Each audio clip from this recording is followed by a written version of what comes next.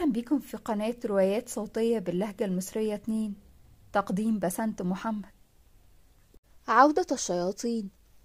عند رحيل ليث كان عمره ثمانية عشر عاما بينما جمرة وندى قد تجاوزتا الرابعة عشر بقليل.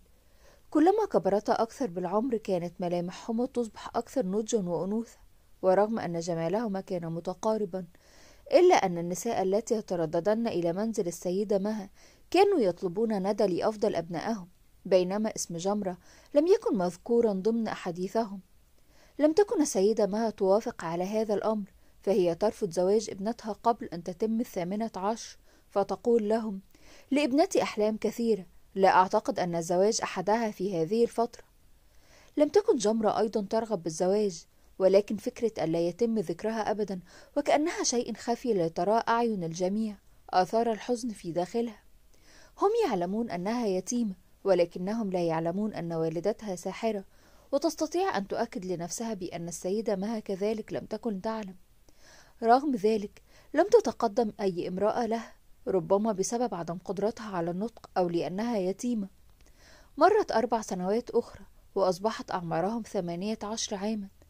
تمت خطبة ندى بعد دخولها الثامنة عشر من عمرها بخمس أيام من ابن صديقة السيدة مها. والذي كان طبيبا متخصصا في جراحة القلب رغم أنه لم يتجاوز الثامنة والعشرون من عمره. كانت ندى سعيدة جدا به أولا بسبب وسامته التي اشتهر بها. ثانيا بسبب مكانته. فلطالما كانت تطمح أن تكون طبيبة وزواجها من شخص ينتمي إلى نفس المجال الذي تحلم به. أمر لطيف ومن المؤكد أنه سيكون متفهما جدا. تم زفافها في الحادي عشر من شوال. وقد صادف حضور أخيها ليث وكم كانت جمرة سعيدة عند علمها برجوعه في تلك الليلة ارتدت جمرة ثوبا حريريا أحمر اللون وعقد من الماس كان هدية من السيدة مها شبيها بالعقد الذي أهدته لندى أيضا. أرادت السيدة مها أن توضح لها بهذه الهدية أن مكانتها مثل مكانة ابنتها بل قد يكون أكثر بكثير. شعرت بالامتنان الكبير والفرح الذي يكاد أن يخرج منها ليغطي هذا المكان بأكمله. فاليوم زفاف أختها الوحيدة والتي لطالما أحبتها وتمنت لها الخير. تركت شعرها الأسود ينسدل على ظهرها وأبعدت بعض الخصلات من وجهها لتظهر غمازتيها عند ابتسامتها. لطالما أخبرتها ندى أنها تحسدها على هذه الغمازات. وضعت الوشاح اللؤلؤي على شعرها وبدأت مراسم الاحتفال في مكان الغناء ورقص النساء وأطفالهن. كان المكان مزدحما ومليئا بشعور البهجة الذي جعل الجميع يبتسم طوال الليل. في تلك الليلة كانت جمرة مصدر اهتمام الجميع حيث تساءل الكثير إن كانت مرتبطة. فتجاوبهم السيدة مه كلا لم يأتي نصيبها حتى الآن. عندما كانت مراهقة في عمر الرابعة عشر كانت تتمنى أن يهتم النساء لها ولكنها الآن لم تعد تكترث لكل هذا حيث أن النضج الذي وصلت إليه أبعد عنها ستائر الأحلام. ووضع لها واقعا واحدا لا بديل له إنها مهما حاولت تزييف واقعها فهي في النهاية من نسل الصحراء الصحراء الذين يتعوذون النساء منهم عند جلب سيرتهم تخيلت إن علم زوجها في المستقبل بشأن عائلتها ماذا سيقول لها؟ قد يقذف بها بعيدا عنه بعد أن يغرس في قلبها سهام لعناته عليها وعلى والديها. جميل جدا أن يعلم الشخص مقداره لكي لا يسقط من مكان مرتفع بسبب درجات صنعها بفضل الوهم لا أكثر. هذا ما كانت تؤمن به في داخلها. شاهدت ليث ينظر إليها وعلى وجهه ابتسامة لم تعهدها منه فقد كان عبوسا باردا يجيد فن التجاهل. بادلته الابتسام. لتظهر تلك الغمازات التي جعلته يضع إصبعه على خديه موضحا لها أنها قد سلبت عقله. أشاحت بوجهها عنه خجلا ودخلت إلى المنزل متجهة نحو غرفة ندى لتجهيزها للخروج فقد اقترب الوقت. عند صعودها للطابق الثاني وفور اقترابها من السلالم المؤدية نحو الطابق الثالث شاهدت امرأة طوليها ظهرها حيث أنها كانت تنظر للجدار خلف السلم. اقتربت منها وضربت بالسلم بقوة لتنتبه لها ولكنها لم تجيبها بل ظلت ثابتة تنظر لذلك الجدار في منتصف الدرجات المؤدية إلى الأعلى. صعدت تلك الدرجات حتى وصلت إليها ووضعت يدها ناحية كتفها ثم كتبت لها أرجوك دعينا نذهب للأسفل لا يجب عليك التواجد هنا. نظرت تلك المرأة إليها بتلك اللحظة سريعا ليقشعر بدنها وتتراجع خطوة وراء خطوة للأسفل حتى سقطت بسبب تعثرها. كانت تشاهدها وسط ألمها وصرختها المكتومة فابتسمت لها ومشت بخطوات ثابتة عائدة للأعلى. كانت تلك الفتاة تشبه إلى حد كبير المرأة في الصورة. المرأة التي كانت والدتها محاسن تضع الإبر على وجهها في الحافلة قبل إمساكها من قبل الشرطة بساعات قليلة. فتحت ندى باب غرفتها ونظرت بطرف عينيها فور سماعها لصوت سقوطها لتركض نحوها بفستانها الأبيض والذي منعها من التحرك بأريحية. ارتكزت عليها وقدمها اليسرى تؤلمها كلما حاولت وضعها على الأرض. فكتبت لها فور جلوسها على طرف السرير. يبدو أن قدمي قد أصابها التواء بسيط.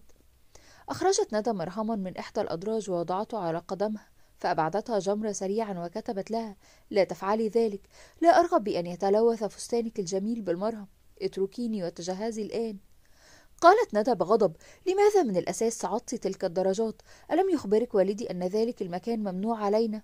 فكتبت لها جمرة لم أذهب ولكن ثم توقفت عن الكتابة حين شعرت بالحيرة عن كيفية تبريرها لما حدث لها. بدأت ندى بتدليك قدميها بيديها وقالت ولكن ماذا لتكتب بعدها على ذات الورقة؟ لا شيء انسي الأمر. فتح الباب لتدخل منه السيدة مها وبيدها حامل للبخور لتبخر به ابنتها ومعها الخادمة مينا. فور رؤيتها جمرة وهي مسترقية وتتألم. أثار ذلك الخوف فيها حيث قالت موجهة سؤالها لندى ماذا حدث لجمرة؟ نظرت ندى نحو أختها لتهز رأسها كرجاء على عدم إخبارها بما حدث فقالت لا شيء. يبدو أن قدمها قد ألمتها بسبب ذلك الحذاء المرتفع حيث أنها لم تعتاد على هذا النوع من الأحذية. تنهدت السيدة مها تعبيرا عن راحتها وقالت كدت أسقط من خوفي. ارتاحي عزيزتي لا ترهقي نفسك. ثم بدأت بتجهيز ندى حتى أصبحت تبدو كأميرة صغيرة. نزلت بعدها إلى الحديقة وسط غناء النساء ودقات الطبول ليستقبلها زوجها سعود بابتسامة ساحرة. كانت جمرة تستند على أثاث غرفتها للوصول إلى النافذة للمشاهدة لمشاهدة الزفة وعند مشاهدتها لأختها شعرت بالسعادة تغمرها رغم شعورها بالألم في كاحلها. لم يقاطع نظرتها نحوها سوى صوت قرع الباب المتواصل بهدوء شديد. شعرت بالخوف في تلك اللحظة. حيث أن الجميع خارجا ولا يمكن أن يكون هناك أحد في المنزل بهذه اللحظة. تذكرت سريعا تلك المرأة وما حدث معها قبل لحظات وهمست داخل نفسها برثاء شديد عليها. يبدو أن الماضي لن يكون ماضيا بعد الآن. تسارعت نبضات قلبها ولكنها لم تفتح الباب في تلك اللحظة وازدادت الدقات بشكل مرعب لدرجة شعرت أن الباب قد يسقط فسقطت على الأرض ووضعت يديها الاثنتين على أذنيها وهي تردد داخل نفسها. هم جبناء يا جمر جبناء يجيدون صنع الوهم جبناء يجيدون صنع الوهم جبناء يجيدون صنع الوهم. أصبحت تردد هذه الجملة داخلها دون صوت لتبعث قليل من السكينة في قلبها الذي يرتجف هلعا ليتوقف بعدها صوت الطرقات وعاد الهدوء مجددا للمكان سوى من غناء النساء خارجا. لم تقدر بتلك اللحظة على فتح الباب أو عمل أي شيء سوى الذهاب إلى أبعد نقطة من الباب واللجوء إلى زاوية الغرفة مثلما كانت تفعل في صغرها حتى ينتهي هذا الكابوس. انتهت زفة ندى تستطيع معرفة ذلك من هدوءهم وتعلم جيدا أنهم بهذه اللحظة بدأوا بمرحلة توديعها كم تمنت أن تودعها معهم ولكن خوفها من الخروج منعها. انتهت الليلة لتدخل الخادمة مينا لتنظيف الغرفة. وفور أن وجدتها في زاوية المكان قالت ما بك؟ لماذا أنت جالسة هكذا؟ لم تعد تقوى على الكتابة لتشرح لها فكل ما فعلته أنها نهضت من مكانها وذهبت إلى غرفتها لتقفل الباب على نفسها وتسترقي لتغط في نوم عميق. مر يومان على ذهاب ندى إلى منزل زوجها وكما قالت السيدة مها إنها هذه الليلة ستأتي لتناول العشاء ثم ستذهب في رحلة شهر عسل إلى مصر كانت تحدث جمرة كثيرا عن مصر وعن مدى تطورها ولكن الأخيرة لم تستطع زيارتها إلى الآن فكتبت للسيدة مها كم أتمنى أن أذهب إليها يوما ما. سنفعل ذلك قريبا. فقد وعدني والدك بالذهاب في جولة لثلاث دول بعد عدة أشهر ومن ضمنها مصر. ابتسمت جمرة لها وكتبت بحماس. سمعت أن الفساتين هناك جميلة وذات تصاميم مميزة. أعطيت أختك بعضا من المال وأوصيتها إن شاهدت أي شيء يليق بك. يجب أن تجلبه معها لتكتب لها حقا وماذا عن الكتب. ضحكت وقالت ممازحة حسنا إذا يجب علي إخبارها أن تلغي فكرة شراء الفساتين وتجلب لجمرتي الكثير من الكتب. كتبت لها جمرة ألا تستحق جمرة الاثنين؟ الفساتين والكتب يا سيدة مها اتضح الحزن على ملامحها بسبب تكرار جمرة لاسمها فقالت سريعا قبل رحيلها مثلما تريدين عزيزتي. تعلم جمرة جيدا شعورها فلطالما كان وجهها يتبدل الحزن كلما كتبت اسما بدلا من كلمة والدتي. في السابق كانت تتمنى أن تعاملها السيدة مها كابنتها ولكن ذلك لم يحصل. والآن عندما تعودت على كلمة سيدة تبدل الحال لتشعر الأخرى بالحزن منها. في جميع الأحوال هي لا تستطيع أن تنطق بهذه الكلمة لأحد غير والدتها الحقيقية. فمهما فعلت لها السيدة مها لن تستطيع فعل نصف ما فعلته من أجلها تلك الماكثة تحت التراب. جاءت ندى وزوجها حيث كانوا يتحدثون كثيرا عن كل شيء يدور في عقولهم كانت جمرة سعيدة وهي تقص عليهم عن طريق أوراقها ذكرياتها مع ندى بينما ليث كان ينظر لها بإعجاب شديد وكلما ابتسمت يبتسم دون شعور منه. غريب هذا التغيير فيه حيث أنه قبل رحيله. كان سعيدا بالخلاص من النظر لوجهها والآن لا تكف عينيه عن تأمل تفاصيل وجهها الذي لطالما شعرت أنه كان مصدر بؤس له. رحلت ندى برفقة زوجها وهمست لجمر قبل الرحيل. سأجلب لك كل ما تشتهي نفسك فأنا أعرف ذوقك لا تقلقي. ابتسمت جمرة وكتبت سأنتظر مجيئك بفارغ الصبر. لا لأجلك بل لأجل تلك الأشياء التي ستجلبينها معك. يا لك من وقحة يا جمرة ثم حضنتها ورحلت في طريق سعادتها بتلك اللحظة قال لها الشيخ ماجد سيأتي دورك مثلها عزيزتي لتنعمي بسعادة أبدية مع من اختاره لك قدرك ابتسمت وكتبت وهل هذا يعني أن أتركك؟ لا يمكن أبدا ضحك وقال إذا سنطلب من زوجك أن يعيش هنا معنا ما رأيك؟ بتلك اللحظة وجه ليث كلامه لوالدته وقال لها أحتاج إلى التحدث معك على إنفراد. ليذهبوا إلى إحدى الغرف ولم يمر سوى قليل من الوقت لتخرج السيدة مها وعلى وجهها سعادة الكون بأكملها وهو كذلك لم يكن أقل سعادة منها. انتاب جمر الفضول لمعرفة ما قالوا ولكنها فضلت التظاهر بعدم الاهتمام وذهبت إلى غرفتها. بدأ الجميع بالتوجه إلى غرفهم أيضا والمنزل الذي كان قبل لحظات مليئا بأصوات ضحكاتهم ونقاشاتهم أصبح ساكنا لا صوت فيه. كانت جمرة تتقلب في سريرها وهي تفكر بتلك الفتاة التي شاهدتها والتي تشبه إلى حد كبير فتاة الحافلة. شعرت بالخوف من فكرة أن تكون هذه رسالة منها لتعلمها بأن الانتقام قد حان موعده. في عمق تلك الأفكار التي تجوب عقلها سمعت صوت طرقات على الباب فظنت أنها السيدة مها فتوجهت لتفتح لها ولكن فور أن فتحت الباب. لم تجد أحدا لا أحد سوى تلك الإنارة بجانب السلالم. تنطفئ وتشتعل بطريقة لم تعهدها. توجهت نحوها لإقفالها تماما ولكن شعرت عندها بأن عين أخرى تراقبها. لتنظر للأعلى باتجاه سلالم الطابق الثالث فتجدها تنظر إليها وعلى وجهها ابتسامة كابتسامة الشياطين. شعرت أنها على وشك الموت. ولكن عقلها يهمس لها أن هذه الفتاة تكون مياسم عمة ندى وليث. في ظل تلك الأفكار ما زالت تلك المرأة تنظر إليها والابتسامة مرسومة على وجهها ثم قالت بصوت أجش مليء بالرعب جمرة منذ زمن لم نلتقي يا جمرة شعرت بروحها تود الهرب من هذا الجسد لأبعد مكان من هذه البقعة. ولكنها تمالكت نفسها وأمسكت قلمها المعلق على رقبتها وحزمت الأوراق التي أصبحت ترافقها في كل مكان وكتبت تعلمين من أكون؟ كانت تكتب لها وتقترب خطوة وراء أخرى منها رغم الرعب الذي يسري بداخلها ولكن تأنيب الضمير الذي تعيشه كان أضعاف الخوف الذي تشعر به فتغلبت عليه للحظات فقط فور أن اقتربت منها ولم يكن يفصل بينهم عدا خطوة واحدة لا أكثر. كتبت لها بينما الأخرى تراقبها بصمت. كيف أستطيع أن أخلصك من كل هذا العذاب؟ ابتسمت بطريقة أكثر عمقا لتظهر أسنانها بأكملها ثم سرعان ما رددت نفس التهويدة اللعينة التي لم تخرج من ذاكرتها يوما لتذكرها به. نام نام فأنت في حضن الهمام. بينما تردد تلك التهويدة ووجهها مبتسم بالكامل كانت الدموع تتساقط من عينيها بطريقة غريبة جدا وكأن هذه الروح المنكوبة تطلب منها العون. لم تستطع فعل شيء في تلك اللحظة لها وهي تشاهد الشيطان همام قادما بابتسامته المشقوقة من تلك الغرفة. كان يمشي بخطوات الواثق ومن خلفه الشيطان خاتمة وذلك الطفل ابن الشياطين الملعون ذو الدمية مقطوعة الرأس ليلاس. رجعت للوراء خوفا وهلعا. وفي كل مرة تخطو بها خطوة للوراء تجدهم يتقدمون ثلاث خطوات باتجاهها بينما تلك المرأة مياسم ما زالت تردد هذه التهويدة بصوت كفحيح الأفاعي. خطوة وراء أخرى للأسفل. بينما تلك الفتاة ثابتة في مكانها وتلك الشياطين تقترب منها.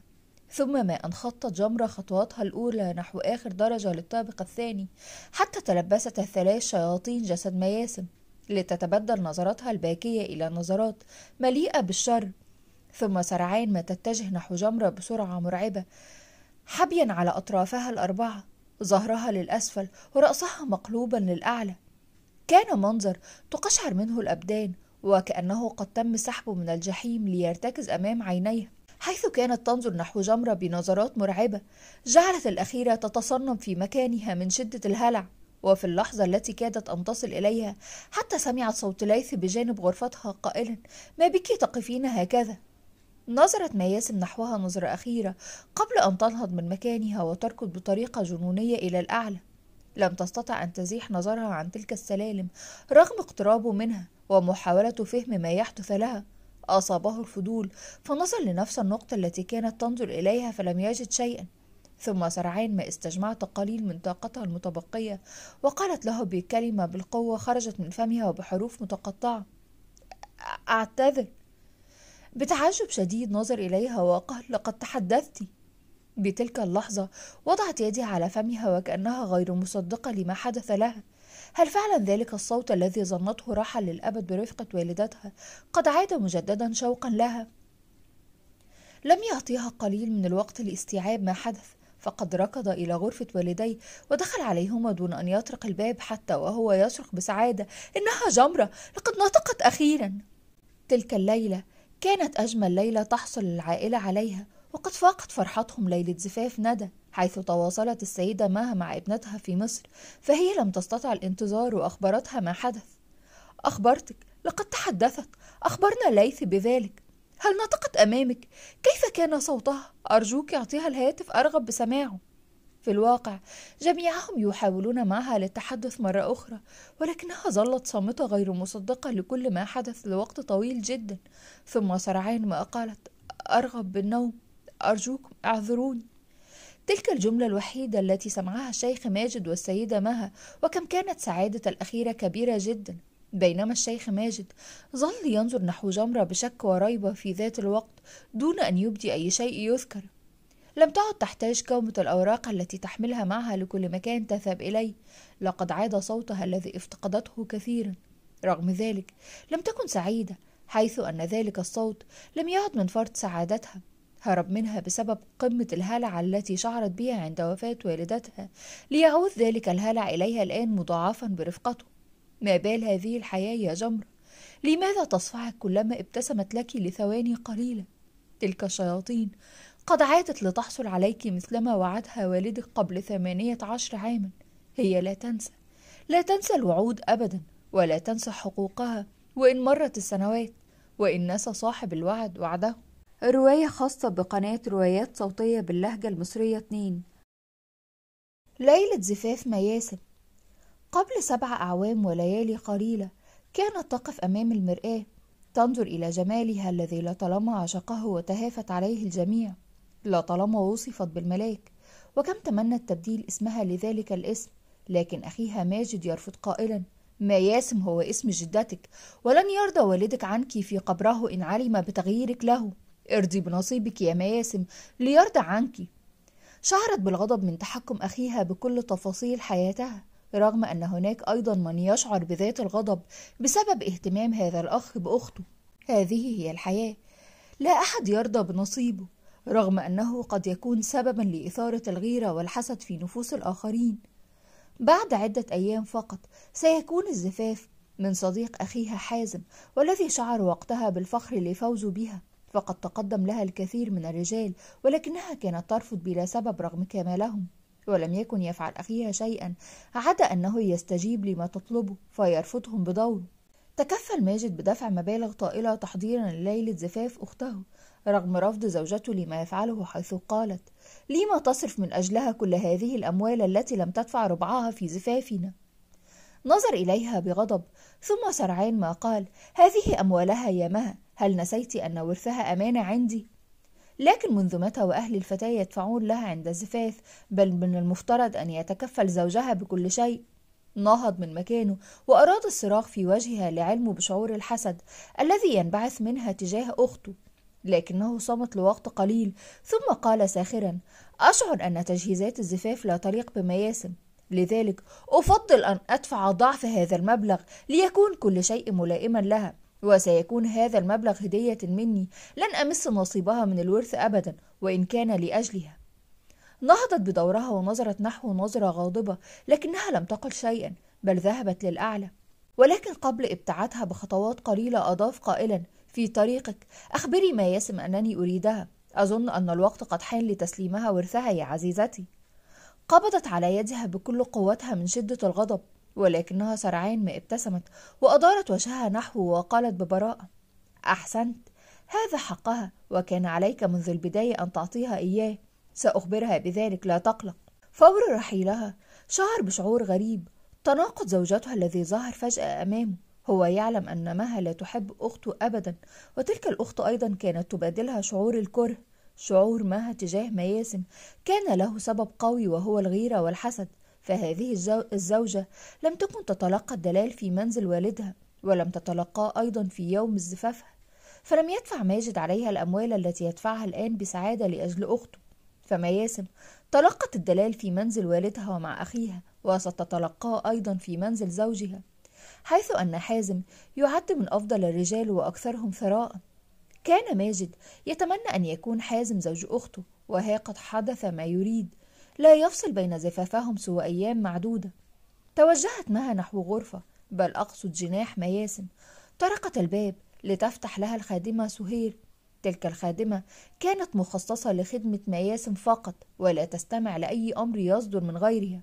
أهلا يا سيدة مها ماذا تريدين؟ أرغب برؤية مياسم. أفسحي لي الطريق. قالت رغم توترها الآنسة الآن تقيس فستان زفافها. الرجاء القدوم في وقت آخر. شعرت مها بالغضب وأبعدتها بكل قوة بيدها لتدخل فتجد مياسم تتأمل المرآة وعلى وجهها ابتسامة مليئة بالثقة ولكن فور رؤيتها لإنعكاس مها على المرآة التي أمامها عبس وجهها وقالت ألا تعلمين ما هي آداب الدخول؟ أخبرني أخاك أنه يريد رؤيتك في الأسفل نظرت إليها مياسم في تلك اللحظة وقد صنعت على وجهها ابتسامة ساخرة وقالت كان بإمكانك إخبار سهير بهذا الأمر وهي بدورها ستخبرني. حسنا فعلت ما جئت لأجله والآن رجاء. اخرجي من جناحي. كاد قلبها في تلك اللحظة أن يحترق من فرط الغضب ولكنها رسمت على وجهها ذات الابتسامة وقالت مثلما تريدين يا جميلة. قبل رحيلها وعلى غفلة من مياسم وخادمتها سهير التقطت صورة لها قد وضعت على الطاولة بجانب الكثير من الثياب. وخرجت سريعا بعد أن أخفتها بين يديها كان الغضب والحقد قد أعمي بصيرتها رغم أنها لم تكن كذلك من قبل. ذهبت إلى إحدى الساحرات التي سمعت عنها في إحدى تجمعات النساء. لقد تناست دينها وقذفت كل مبادئها بعيدا لأجل إشباع سواد قلبها. توجهت إلى القرية برفقة سائق أختها وفور وصولها إلى المكان المنشود طرقت الباب ليفتح على مصراعيه في ذات اللحظة مرحبا بها. كانت تنظر لفناء ذلك المنزل والذي كانت تفوح منه رائحة كريهة جدا. تفوق رائحة العفن المنتشر في أزقة القرية بأكملها. حاولت منع ملامحها من إظهار التقزز الذي تشعر به داخلها وأظهرت ابتسامة مصطنعة فور رؤيتها لامرأة تجلس في زاوية الفناء وبجانبها نار مشتعلة لتقول لها أعذريني على دخولي دون إذن ولكن قاطعتها تلك المرأة قائلة إذا أتيت يا مها. أتيت لإرضاء شرور نفسك. شعرت مها بالرهبة فور نطقها لإسمها لتقول لها المرأة اجلسي. لم تقوى مها على الجلوس من شدة الرعب فصرخت عليها أخبرتك أن تجلسي. كانت ترتعش لكنها فعلت ما قالته تلك المرأة وقالت سيدة محاسن سمعت عنك الكثير وأرغب بطلب المساعدة منك. ابتسمت محاسن ابتسامة شيطانية وقالت رغم علمها وما هي نوع المساعدة؟ أرغب بالقيام بعمل أخت زوجي تدعى مياسم في ذات الليلة التي ستتزوج بها أي بعد ثلاث أيام. ولماذا؟ تلعثمت مها حيث أنها لم تتوقع هذا السؤال من تلك الساحرة. فالسحرة يفعلون ما يؤمرون به مقابل المال على حسب ظنها لتقول لقد لقد جلبت معي الكثير من النقود وإن لم تكن كافية سأجلب المزيد. أخرجت بتلك اللحظة حزم كثيرة من حقيبتها حوالي عشرون ألف ريال لكن ما زالت محاسن ترغب بمعرفة إجابتها لتقول لكنك إلى الآن لم تخبريني عن سبب فعلتك هذه رغم التزامك. لماذا ترغبين بمعرفة دوافعي؟ لست أنا. في الحقيقة هم الذين يرغبون بأخذ الإجابة منك رغم معرفتهم بأسبابك. علمت وقتها من تقصد بهم لتجيب كل الأمنيات التي تمنيتها تكون تحت قدميها. تعيش حياة لا تستحقها. لا أقوى على تحمل هذا الشعور الذي يزداد يوما بعد يوم داخل قلبي. أرغب بالخلاص. ترغبين أن تذوق العذاب للخلاص من ذلك السواد الذي يتغلغل داخلك. صحيح قد أعيدها لوعيها في المستقبل لكني الآن أرغب أن تذوق القليل فقط من سوء القدر وبشاعته. سيصيبهم الله بذات الحزن. الذي ملؤون به. جاءت الليلة المنشودة والتي ينتظرها الكثيرون لرؤية ما سيتم تقديمه لمياسم مياسم أخت الشيخ ماجد. رغم ثراء المدعوين لكن هذا الرجل وأخته كانا يحبان إظهار المال في كل شيء يقومان به مما جعلهم مصدر اهتمام للجميع. نظرت للمرآة بعد أن انتهت من تزيينها وبجانبها ابنة أخيها ندى والتي قالت له أنت جميلة جدا يا عمتي تبدين كالأميرات ربطت على رأس ندى وهمست لها لكني متأكدة في يوم زفافك عندما تكبرين ستكونين أميرة تفوقني جمالا. أنتظر ذلك اليوم بفارغ الصبر يا أميرتي الصغيرة. دخلت بتلك اللحظة معها وقالت استعدي فزفتك ستبدأ بعد دقائق. لم تجيبها بل نظرت سريعا للمرآة لتبحث عن أي غلطة قبل خروجها للجميع لكنها لم تجد سوى الكمال. فأصبحت كلوحة تم رسمها على يد أمهر الرسامين في العالم. ابتسمت بثقة وقالت لسهير أخبري الجميع أنني سأخرج الآن. كان التوتر يتضح على وجه مها والتي تنتظر أن يظهر تأثير ما قامت به تلك الساحرة عليها ولكن لا يبدو أن هناك شيء سيحدث. فشعرت بالغضب وتمتمت لنفسها. هل يعقل أن تلك الساحرة لم تفعل لها شيئا وتلك الأموال ذهبت أدراج الرياح؟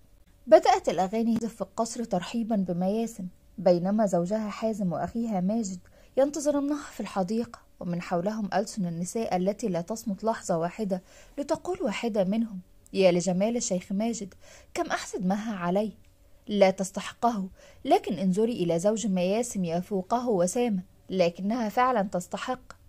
فور وصولها للحديقة وانبهار الجميع بها بمن فيهم زوجها حازم والذي ابتسم لها.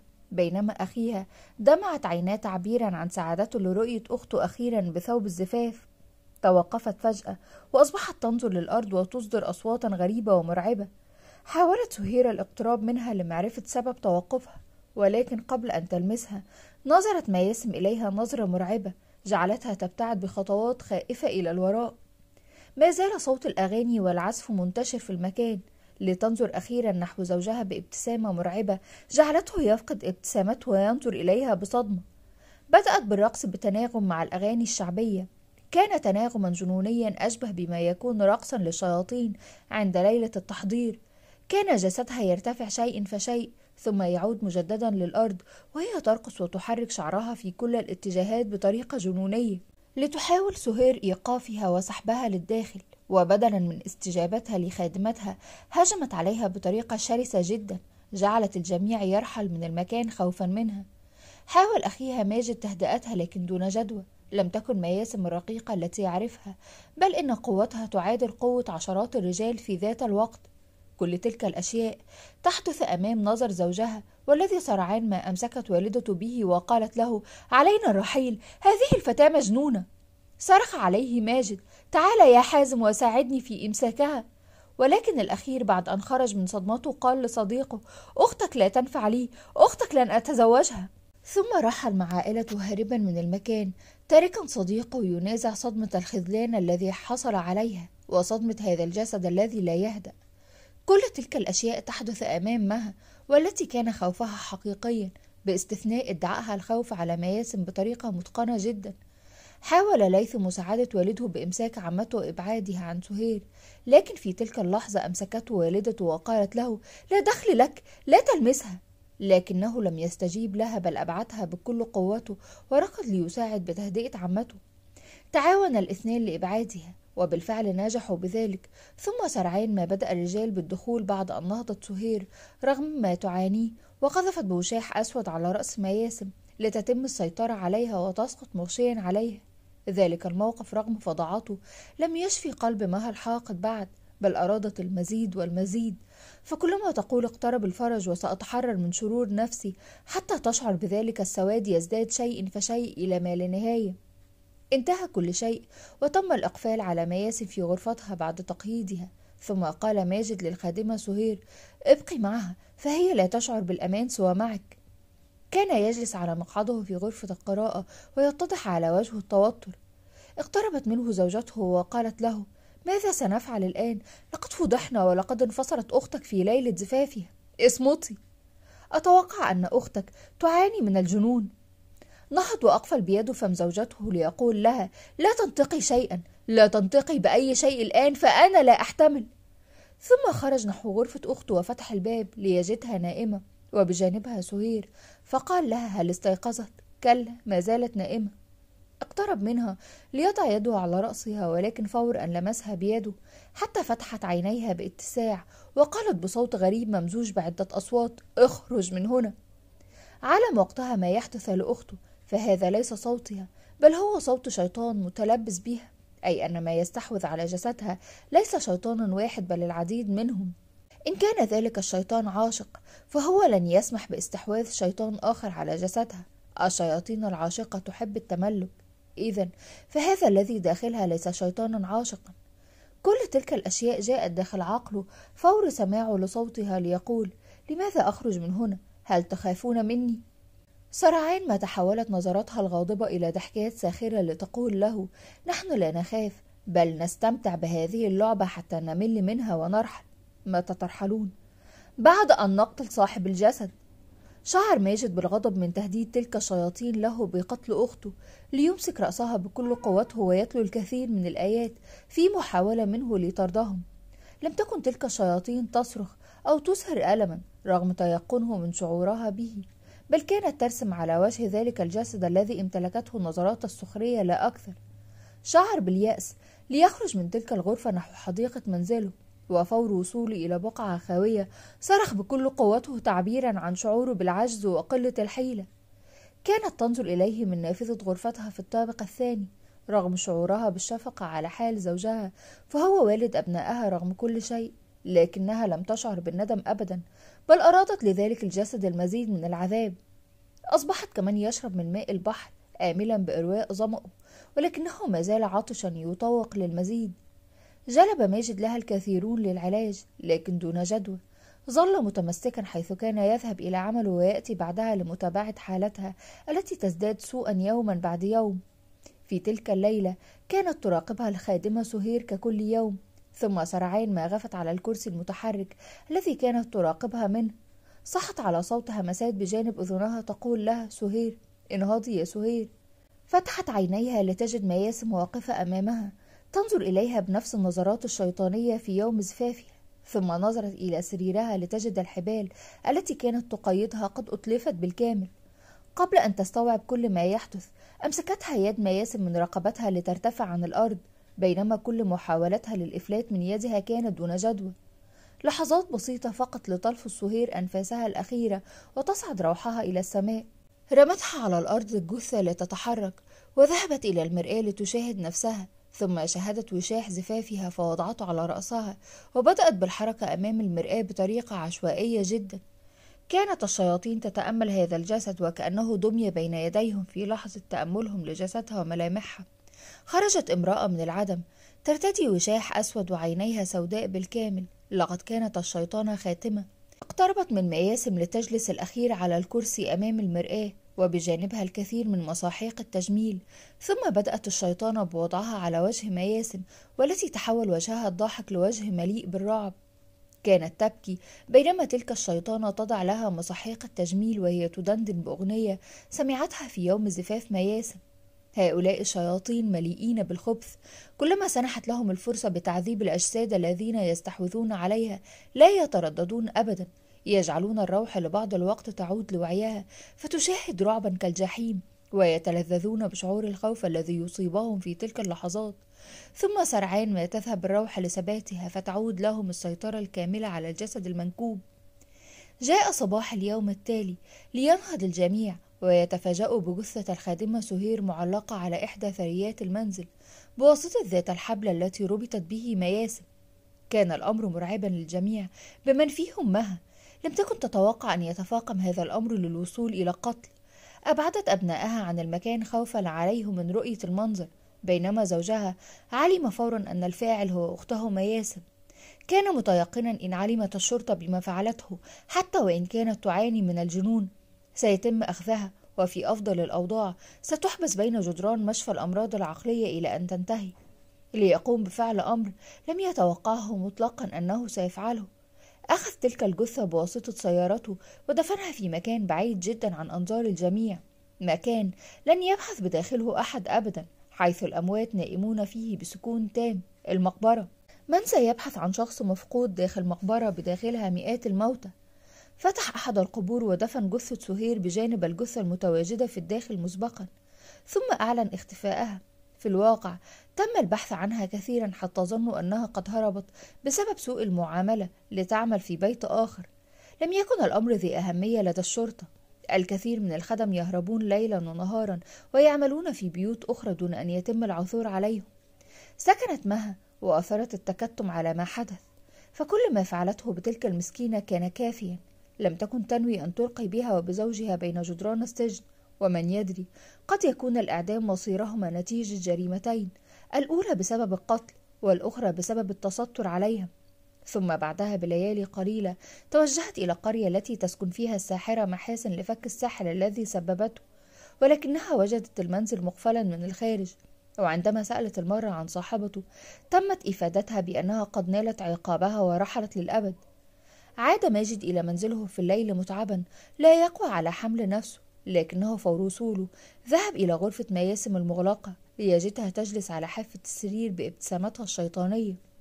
لم تكن تبالي بدخوله بل كانت تنظر للمرآة وعلى رأسها ذات الوشاح الذي كانت ترتديه لزفافها بينما وجهها مليء بمساحيق التجميل. كان الأمر مرعبا ومثيرا للرهبة لكنه عاقد عزمه وجلب معه الحارس أمير والسائق حسن لمساعدته على أخذها للطابق الثالث والذي سيكون من هذه الليلة مسكنا لها. ذلك الدور كان مخصصا لليث بعد زواجه لكنه الآن أصبح سجنا لمياسم والشياطين التي معهم. ثم استعان بآيات الله ليحرس به الطوابق من تحته.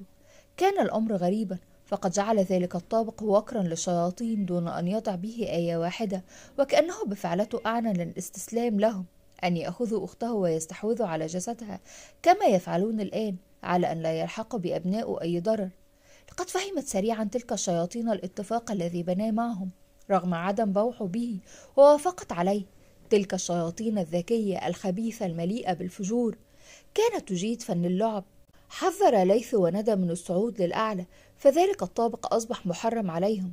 ثم بعد أسبوعين من تلك الحادثة جاءت جمرة. ظن الجميع أن سبب جلبه لتلك الطفلة اليتيمة هو شعوره بالذنب الذي يعتصر قلبه بسبب فعلة مياسم للخادمة سهير وكأنه بفعلته هذه يحاول تكفير ذنبه أمام ربه لكن الأمر لم يكن هكذا أبدا. كان أعمق من هذه النقطة التي توصلت لها مها بكثير. أتعلمون عن لعبة الشياطين؟ أولئك الشياطين وحبهم لأن يحركوا أجساد البشر ويتحكمون بأفعالهم كلعبة الشطرنج.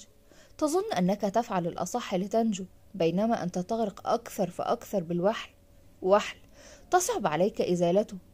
في ذات الليلة التي وضع بها مياسم في الطابق الثالث وبعد نوم جميع أفراد عائلته توجه لهم بوجه ذليل مستعد لفعل كل ما يستطيع فعله لأجل إنقاذ عائلته منهم. كانت تجلس بملامحها الشيطانية على آخر درجة تؤدي للطابق المحرم.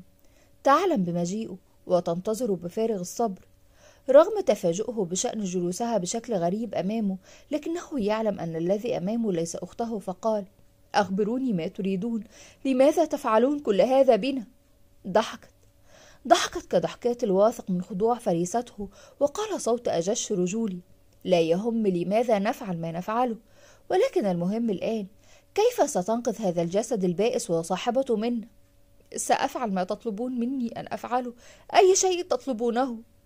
ثم امتزج صوت الرجول الخارج من جسدها ليتكون من ثلاث أصوات صوت طفل امرأة وصاحب الصوت السابق ليقولوا بصوت واحد جمرة. نحن نريد جمرة. لم تكن ذاكرته تسعفه بتلك اللحظات المرعبة لتذكر من هي جمرة ولكن سرعان ما ارتسمت بذاكرته تلك الفتاة في مكتب الضابط والذي كان يحقق معها عما تفعله برفقة والدتها بين القبور. لا يعلم لماذا هذه الشياطين تطلب الطفلة وما سيفعلون بها؟ هل يريدون منه قتلها أم جلبها إليهم فقط؟ لكن لا يهم. يستطيع فعل كل ما يرغبون به أن يفعلوا لأجل إبقاء عائلته وأخته على قيد الحياة. كان موقنا أن الله سيسامحه على كل ما يفعله فهو مرغم لا راغب.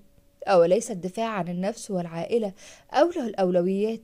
هذا ما كان يحاول إقناع عقله فيه ليرتاح قليلا من تأنيب الضمير الذي أصابه لكن تلك الشياطين لم تطلب قتلها أو جلبها إليهم بل كل ما طلبته منه هو أن يحتويها في منزله إلى أن يحين الوقت ليأخذوها منه ثم بالمقابل لن يمسوا عائلته بسوء وهذا الجسد الذي يستولون عليه سيكون آمنا تحت سلطتهم رواية خاصة بقناة روايات صوتية باللهجة المصرية 2 همام وعمام. نهضت من نومها بشهقة أخرجتها وكأنها قد كانت في عمق الجحيم. فور نهوضها من ذلك الحلم الذي تتمنى لو كان حلما حقا. شعرت بوجود شيء في غرفتها. أمام المرآة تقف امرأة ترتدي ثوبا أبيض مطرز بالكامل وتضع وشاحا أبيض على رأسها كأوشحة العرائس نور ضئيل بسبب فانوس لم تشاهده من قبل بجانبها. كان يعكس وجهها على المرآة. لتتعرف جمرة عليها سريعا. لقد كانت مياسم ترتدي ذات الرداء الذي ارتدته في الحلم. هل ذلك الحلم حقيقي؟ هل حصل حقا؟ هل السيدة مها تلك الملاك؟ فعلت كل هذا بهذه المسكينة. صراع غريب مخيف مثير للإشمئزاز يجول في عقلها. خوفها من تلك المخلوقة المتواجدة في غرفتها وعدم تصديقها لعمق السواد الذي يعيش داخل الأشخاص الذين ظنت بهم خيرا. كان الباب مفتوحا بأكمله ودت لو تستطيع الهرب من غرفتها. من هذا المنزل بأكمله لكن قدميها تأبيان الاستجابة لها. لقد خذلها جسدها مثلما خذلها جميع من حولها. تمنت لو كان بمقدرتها أن تخرج من هذه الأرض وتبتعد عن الجميع وإن كان خروجها يعني الموت. فما أجمل الموت مقارنة بمواجهة سواد البشر وأحقادهم على بعضهم البعض؟ التفتت لها مياسم بذات الابتسامة الشيطانية التي أصبحت جزء لا يتجزأ من ملامحها ثم بدأت بالتحرك نحوها وهي تردد بصوت رجولي تذكره جيدا جمرة لقد اشتقت إليك. أصبحت ترتجف داخل غطائها بينما ذلك الشيطان يتقدم نحوها حيث أصبح لا يفصل بينه وبينها شيء. لمس شعرها الحريري ثم بدأ بلمس وجهها ليقرب وجه مياسم منها أكثر فأكثر فهمس لها أحببتك رغبت بك منذ ولادتك أغمضت عينيها رغم خروج الدمع منها وقالت بصوت يرتجف خوفا أرجوك لقد سئمت ما تفعلونه بي فقط ارحموا ضعفي ودعوني أو اقتلوني مثلما فعلتم بأمي وأبي. شعر في تلك اللحظة وكأن خنجرا مسموما يغرز داخل قلبه. لقد فعل المستحيل لحمايتها رغم ادعائه عكس ذلك. هي لا تعلم أن الشياطين إن أحبت فعلت المستحيل لأجل من تحب وإن كلف الأمر قتل جميع من في الأرض. ابتعد عنها رغم رغبته بالبقاء بجانبها إلى نهاية الزمان إلى ما بعد هذا الزمان لتشعر بعدها بسكون غريب وكأن لا أحد بجانبها فتفتح عينيها وتمسحها من الدمع لترى إن كان موجودا ولكنها لم تجده. بحثت بعينيها في أرجاء المكان ولكن لا وجود لمياسم في المكان. سرعان ما نهضت من مكانها وركضت خارج المنزل. جلست في الحديقة وقلبها يرتجف من شدة الخوف. تذكرت عندما كانت طفلة. كيف أنها تهرب خوفا من منزلها لتشعر بالأمان وتحتمي بذلك الزقاق القذر طوال الليل حتى تأتي والدتها؟ ولكنها الآن تعلم جيدا أن والدتها لن تعود أبدا. لقد رحلت لمكان لا رجع منه. لقد رحلت للخلاص. في تلك الأثناء شاهدت نافذة غرفة ليث مفتوحة بينما هو ينظر إليها متأملا. شعرت بالخجل منه. لا تعلم كم من الوقت له وهو ينظر إليها هكذا. اختفى من أمام عينيها في لحظات لتجد قد أصبح أمامها ليقول لم أستطع النوم وعندما رأيتك تجلسين هنا علمت أن النوم قد هرب بعيدا عنك أيضا. نهضت من مكانها وابتسمت له وقالت في الحقيقة كنت سأذهب لغرفتي الآن عن إذنك. ليقول لها سريعا انتظري أرجوك. هل أستطيع إخبارك بأمر كنت أود قوله لك منذ وقت طويل؟ كان ينظر إليه من الطابق الثالث والغضب يملأ قلبه. كيف لهذا البشر أن يقترب منها هكذا؟ وكيف تسمح له بذلك؟ في تلك اللحظة وقفت بجانبه خاتمة ونظرت إلى نفس المكان الذي ينظر إليه لتقول بسخرية.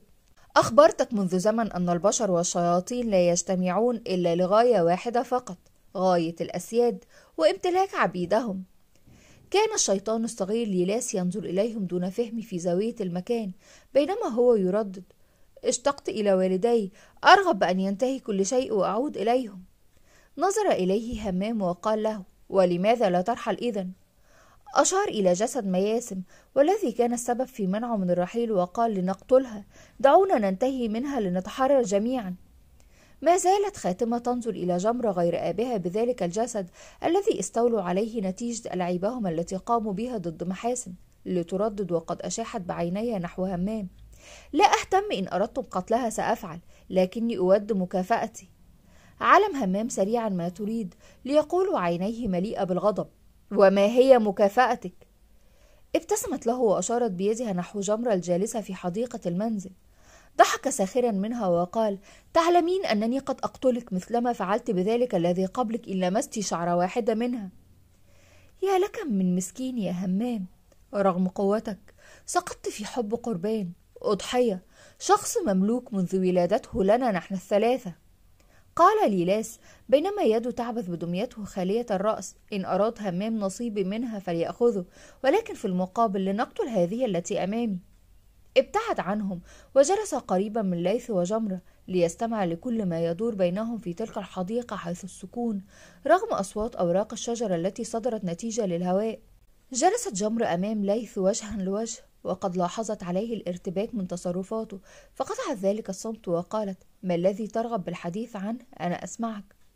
في الحقيقة يا جمرة لا أعلم إن كنت تبادلينني ذات الشعور ولكن قلبي يرفض الاستمرار بكتم مشاعره أكثر من ذلك.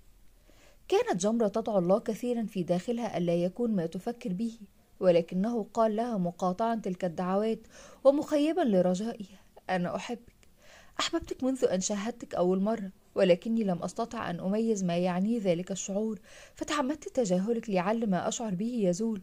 ولكن كان شعوري كل يوم يزداد أكثر فأكثر. أنا أحبك أحبك أكثر مما يتصوره عقلك. رقص قلبها بتلك الكلمات شعرت بالحب لأول مرة في حياتها لكنها سرعان ما تراجعت. عجزت وقتها عن الرد فهي لا تستطيع أن تكون معه رغم إعجابها به. تلك اللعنة ما زالت تطاردها وإن كان ما تفكر به صحيحا فيبدو أن تلك العمة هي الضحية رقم ألف لوالدتها والضحية رقم واحد لوالدته أيضا. كان ينظر لها راجيا أن تقول شيئا فالصمت يقتله أكثر من رفضها له. فقالت منعا لانتظاره تستحق الأفضل يا ليث أنا وأنت لا يمكن لنا أن نكون معا. خيبة أمل كبيرة تم رسمها على وجهه. أنا لا أرغب بغيرك لديك كامل الوقت للتفكير سأنتظرك. وقبل أن ينهض أخرج علبة بلون البنفسج من جيبه منحوت عليها جملة ابنة قلبي لتفتحها جمرة وتجد قلادة ذهبية بداخلها زمردة مرسوم عليها رمز القمر والشمس.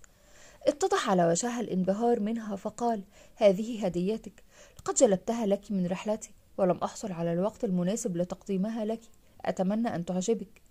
لم يدع لها المجال للنقاش معه حيث أنه ابتعد فورا لخارج المنزل.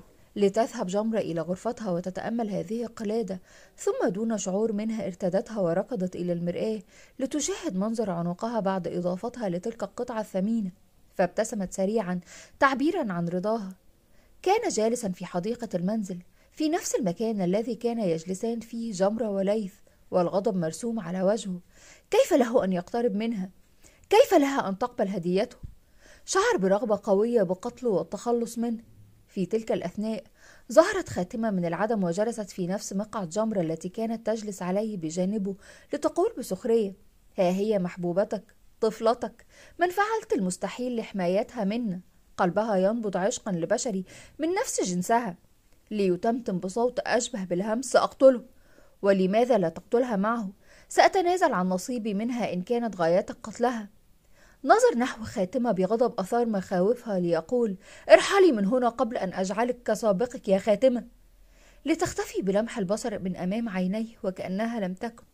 نام نام. فأنت في حضن الهمام.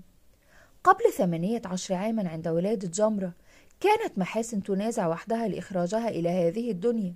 كان ينتظر خارجا بكل شوق للقاء طفله رغم علمه أن هذا الطفل سيكون ذي حظ سيء لسبب واحد فقط. إنه والده. كم تمنى في تلك اللحظة لو أنه يستطيع الخلاص من كل شيء ويبدأ من جديد صفحة بيضاء لم تلوث أبدا فينسج لها حياة نقية ليعود له نقاء قلب الذي هرب منه سنينا طويلة. ليته يستطيع العودة. العودة إلى ذلك المكان ذلك الزمن حيث الكتاب العرين مطلب الصحراء. ملحق. قصة مالك. كان يتجول في الجبال بحثا عن الحطب حيث أن والدة هيتار قد قررت مصير أبنائها دون خيار منهم. الأصغر حامد سيكمل تعليمه بينما الأكبر مالك سيعمل ليلا ونهارا بحثا عن الرزق. رغم طوق مالك للعلم لكنه لم يستطع إكمال دراسته فحياته كانت بأكملها عبارة عن رعي الأغنام نهارا وجلب الحطب ثم بيعه في السوق حتى نهاية اليوم ليحضر لوالدته ما يسد به جوعها ويسمح لحامد بمواصلة تعليمه. في الواقع. لم يكن بين مالك وأخيه فرق كبير.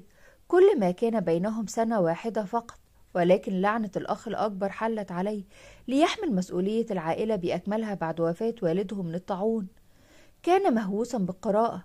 يقرأ كل كتاب يقع بين يديه وكثيرا ما كان يأخذ الكتب من أخيه خلسة دون علمه ليصرخ في وجهه ذات يوم فور اكتشافه لذلك قائلا اترك كتبي لا حاجة لك بها هتار تلك المرأة التي كافحت لأجل أبنائها.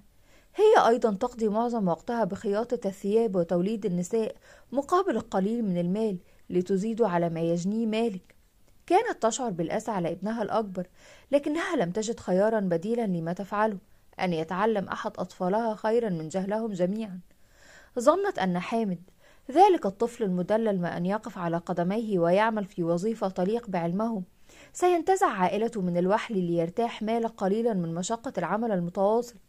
في ذلك اليوم ذهب مالك كعادته إلى الجبال لرعي الغنم وجلب الحطب. في عمق الوادي شاهد كوخا صغيرا لم يراه من قبل رغم أنه قد جاء إلى نفس المكان عشرات المرات. شعر بشعور غريب فضول قوي يدفعه للدخول حيث نادى من باب الأدب قبل دخوله. هل هناك أحد هنا؟ هل أستطيع الدخول؟ لكن لا مجيب. مما جعله يدفع الباب الذي فتح بكل سهولة ليطلق عينيه لتنظر في كل زوايا المكان. ذلك الكوخ المهترئ مليء بالكتب مليء بكل أنواع الكتب. شعر أنه في أعالي الجنان. لقد ترك أغنامه وكومة الحطب التي التقطها طوال اليوم ليجلس في ذلك الكوخ ساعات وساعات يقرأ.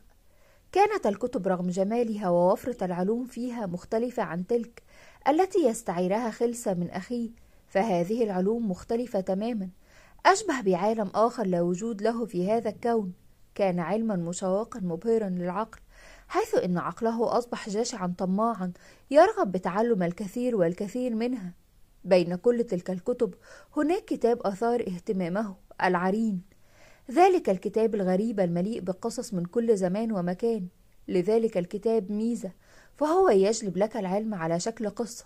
فكلما قرأت منه أكثر فتح لك باب آخر من أسرار الكون. في جانب كل قصة هناك تكمن قوة العلم الذي تعلمه صاحبها ونستطيع من خلاله فتح تلك البوابة الخفية عند حل لغز القصة ذاتها.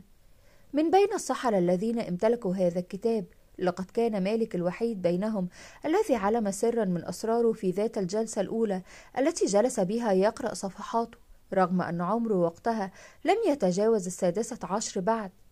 كان مالك ذكيا جدا فطنا بطبعه. علم فورا أن هذا الكتاب لا يعطيك حبا بل يأخذ منك مقابل ذلك العطاء. فكان يتعمد كسر هذه القاعدة معه. أن تواجه الخبيث بالخبث ذاته أمر جميل. لم يشعر بتأخر الوقت عليه إلا عندما سمع صوت إحدى أغنامه. ليترك ما في يده ويخرج من ذلك الكوخ فيجد الظلام دامسا وليس هناك أمامه سوى نعجتان تأكلان من حشائش الأرض. وكومة الحطب التي وضعها في ذات المكان. شعر بقلبه يدق خوفا من والدته ماذا عسى أن يقول لها الآن؟ وبقية الأغنام لا أثر لها ستقتله لا محالة. بدأ بجمع حطبه وأخذ المتبقي من أغنامه ليجوب في أرجاء الجبال بحثا عن البقية. وبيده فانوس يضيء ما حوله أخذوا من ذات الكوخ الذي كان فيه. لم يجد لهم أثرا ليعود لمنزله خائفا منكسرا منتظرا العقاب. لكن فور وصوله تفاجأ بأن تلك الأغنام قد عادت لمكانها بل أنها كاملة أربعة عشر واحدة. بحث بعينيه عن تلك النعجتان التي كانت معه لكنه لم يجد شيئا سوى كومة الحطب التي حملها على ظهره. كل ليلة كان يعتكف بين الجبال ويترك أغنامه ترعى بمفردها فهو أصبح يعلم أنها ستعود لمكانها مثل كل مرة ويتم جمع الحطب دون بذل جهد منه ليترك له خارج ذلك الكوخ. وعند استعداده للعودة إلى منزله سيجدها أمامه. كل شيء كان جميلا. الأموال تأتي إليه من دون تعب. الأغنام تتكاثر. ووالدته سعيدة بما يفعله. لم يجد في الأمر شيئا سيئا. لقد أعجبته هذه الحياة رغم غرابتها. وقد اكتسب أيضا الكثير من العلم بسبب تلك الكتب المصفوفة على جدران الكوخ. بعد ثلاث أشهر من انغماسه بين الكتب بدأ بتطبيق ما تعلمه منها. ليستدعي الطفل ليلاس ويأخذه عنوة من والديه بفضل العهود السليمانية. قال له ويديه ترتجفان خوفا في خدمتك يا مولاي. بينما والديه كهنوت وكيدارا يراقبان على بعد عدة خطوات منهم. لم يكن يرغب مالك بهم فقدرتهم لا تناسبه أبدا.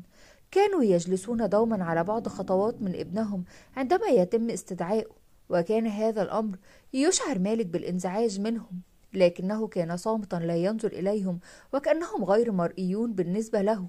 ليلاس يعد من الشياطين الهجينة من فصيلتين محرم عليهم الزواج من بعضهم شياطين الأرض وشياطين الرياح. بسبب فعلتهم التي سببت حروبا لا حصر لها. لذلك تم نفيهم بعيدا جدا عن عالم الشياطين ليعيشوا بالقرب من عالم البشر بين الجبال أو في الخرابات المهجورة. ليلاس كان يجيد شيئا جعله مهما جدا لدى مالك. كان يجيد التحدث مع قرين. من المعروف أن القرين نوع مختلف رغم انتمائه للجن. والقرين ليس فقط مربوطا بالبشر بل هناك قرين لكل مخلوق على وجه الأرض بما فيهم الحيوانات. والجن أيضا لكل واحد منهم قرين من جنس مختلف عنهم. من المعروف أن القرين يعلم كل أسرار الشخص الذي يرافقه إلى مماته. ثم يبقى عند قبره مربوط به إلى أن يموت معه أو يأتي من يطلق سراحه. الأسرار مطلب مالك فإن علم أسرار الموتى المندثرة لاستطاع أن يحقق ثروة تسعد والدته وتريحه من رعي الأغنام وجمع الحطب. رغم ذكائه كان هدفه بسيط جدا بسيط لا يكاد يذكر. أمر مثير للسخرية أن تفعل أعظم الأشياء لأجل شيء تافه لكنه في النهاية يشكل هدفا. وهذا هو وهذا الهدف هو أسمى ما يسعى إليه مالك. بدأ بتحضير كل شيء ليقوم بفعلته. أراد العلوم المندثرة. أراد القيام بشيء لم يتجرأ شخص قبله على القيام به. دائرة كبيرة خطها بيديه من دماء إحدى الأغنام التي معه ورسم داخلها حروفا لرموز تعلمها من كتاب العرين.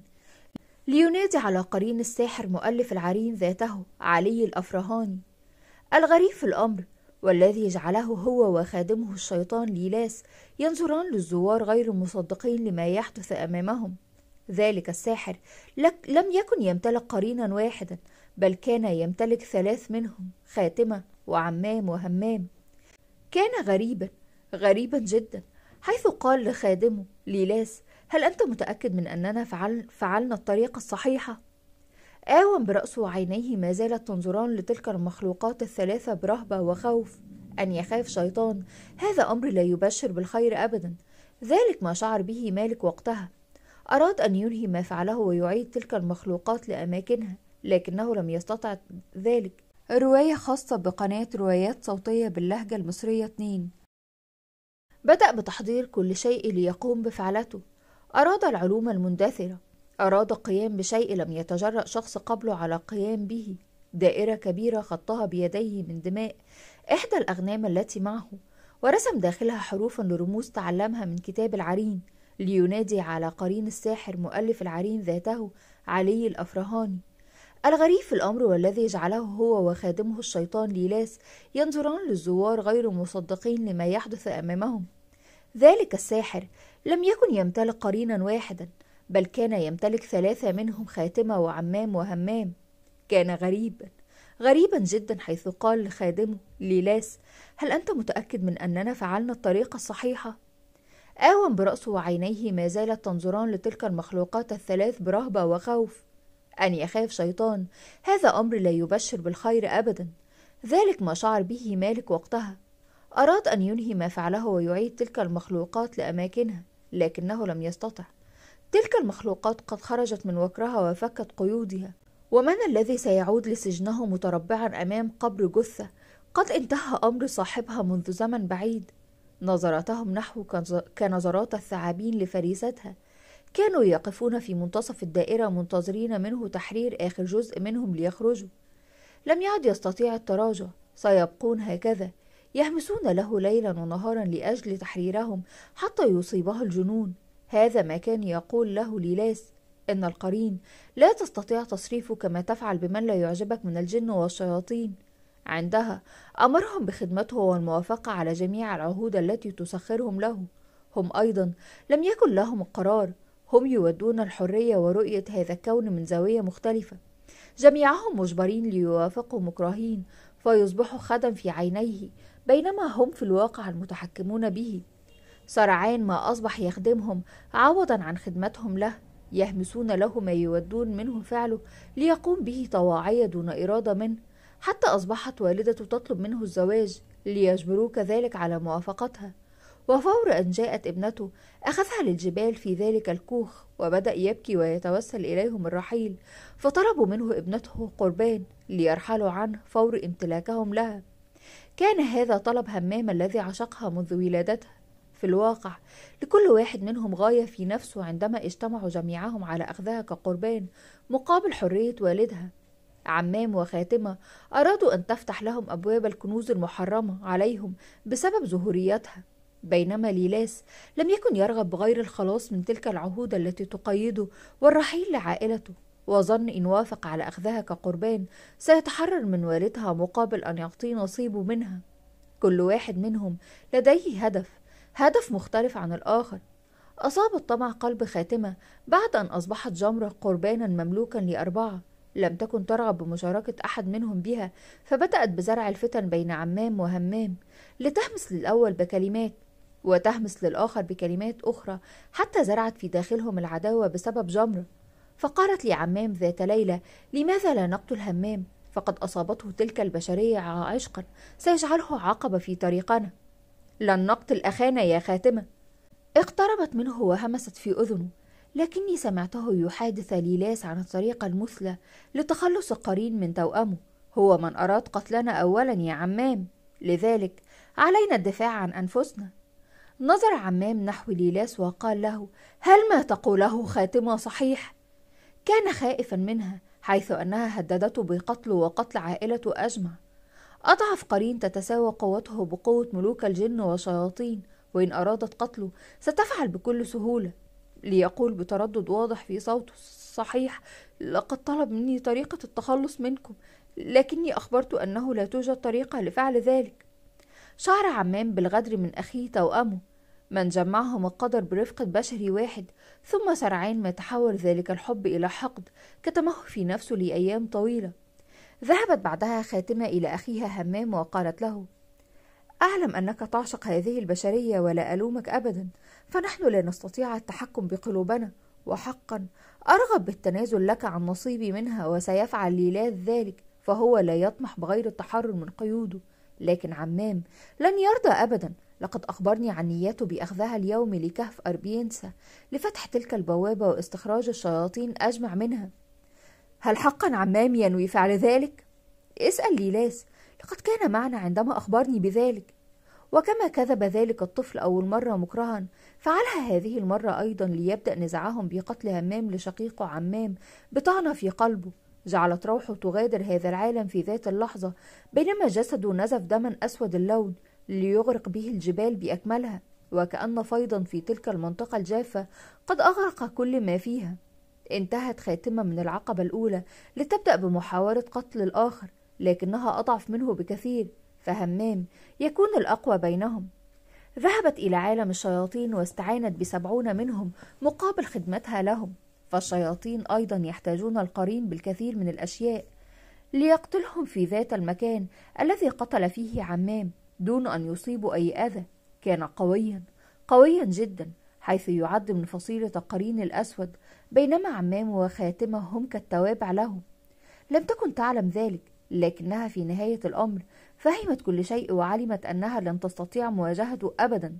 فضلت البقاء بجانبه لرؤية ما سيكون مصير هذا الحب المحرم بين قرين لا يعلم ماهية الحب وبين بشرية لم تنطق أحرفها الأولى بعد. كل هذا حدث بعد أن أصبحت محاسن سيدتهم مسكينة تلك المرأة وضعت شرطا ظنته سيجدي معهم حيث أن الشرط يحوي كلمة الشياطين لكنهم ليسوا شياطين من الأساس فذلك الاتفاق وكل ما فعلته بألف بشري ذهب أدراج الرياح. في الواقع كان من المقدر أن يفيد هذا الأمر مع ليلاس وكم تمنى هو ذلك لكن ليلاس لم يعد ملكا لمالك بل كان تابعا لخاتمة بعد أن نقل مالك منذ زمن عهوده لها. غريب. كل شيء في هذه الأرض غريب جدا أن يخدم شيطان قرينا بذات العهود التي يستخدمها البشر للاستحواذ عليه. أمر جعله هو ذاته يستسلم لكل شيء يحدث له. ليتك تعلم ليتك تعلم أني بنيتك من سواد قلبي وزرعت في داخلك شرور نفسي. الكفاح من أجل الخلاص. فور وصولها ركضت إلى غرفة جمرة والتي ظلت منعزلة عن الجميع لا ترغب برؤية أحد. لتطرق الباب بكل قوة فتصرخ الأخرى قائلة أخبرتكم أنني لا أرغب بالخروج أبدا. همست السيدة مها لابنتها بحزن شديد لا نعلم ما أصابها. أخبرني ليث أنه طلب منها الزواج ليلا قبل شهر من الآن ومنذ ذلك الحين وهي منعزلة في غرفتها. تجلب لها الخادمة الطعام تأخذه لتغلق الباب مجددا. سأتصرف لا عليك. لتقول بصوت عالي افتحي لي يا جمرة. لقد جلبت لك كل ما طلبتيه من ثياب وكتب ومجوهرات كل شيء لأجلك في تلك اللحظة فتح الباب سريعا بأكمله لتقفز جمرة إلى حضن أختها وعينيها مليئتان بالدموع وهي تقول قد اشتقت إليك لماذا رحلت كل هذه المدة عني؟ أرادت السيدة مها الاقتراب من جمرة لمعانقتها ولكن الأخيرة أشاحت بوجهها عنها وسحبت معها ندى لتدخل وتغلق الباب خلفهم تلك الملامح الحزينة التي كانت ظاهرة على وجه السيدة مها تبدلت ليحل محلها ملامح الغضب. تسمروا كثيرا بتلك الغرفة حيث أخبرتها ندى كل شيء حدث في ذلك الشهر وأن جميع النساء في مصر يتنافسن بأناقة وجمال فساتينهن. ثم سرعان ما جلبت لها الكثير الكثير من الفساتين بمختلف الألوان والتي تعلم جيدا أنها تناسب ذوق جمرة. كانت جمرة تقيسهم جميعا وتنظر في كل مرة للمرآة بانبهار شديد ثم ناولتها ندى الكتب الكثيرة التي اختارتها بعناية فذوقها في الكتب غريب جدا حيث تهوى كتب الفلاسفة والتي كان الشيخ ماجد يجلبهم لها خلسة بسبب منعها هنا. فور رؤيتها للكم الكبير من الكتب شهقت وقالت كيف استطعت جلب كل هذه الكتب دفعة واحدة؟ والدك كان يهرب لي كتابا واحدا فقط في كل مرة بعد جهد كبير. ابتسمت بانتصار وقالت لها لا تسألي لقد فعلنا المستحيل أنا وزوجي لأجل سعادتك. اعتبريها هدية عودة صوتك الجميل يا جمر تبدلت ملامح السعادة للحزن وتركت كل شيء لتجلس على إحدى المقاعد القريبة من النافذة وظلت تتأمل السماء بصمت مفاجئ لتقترب منها ندى وتجلس جانبها وتقول لها أخبريني ألم نتعاهد على قول كل ما يجوب داخل قلوبنا لبعضنا البعض؟ ما الذي يحزنك يا جمرة؟ لم تستطع إخبارها فقالت سريعا لا شيء فقط اشتقت إليك لكني عدت ولا زال وجهك مليء بالحزن. هل هذا بسبب ليث وعرضه الزواج منك؟ إن كنت لا تريدين لا توافقي أبدا وسأقف معك. ابتسمت لها لتظهر غمازتيها الجميلتين وتقول ليس الأمر كما تعتقدين. كنت أتمنى الزواج من ليث. وكم كنت أشعر بالغيرة في صغري عندما تتحدثين عنه أمام الفتيات في المدرسة وتعيدينهم بالزواج منه لكني لا أستطيع قبول الزواج منه الآن. ليث يستحق الأفضل. من قال أنك لست الأفضل؟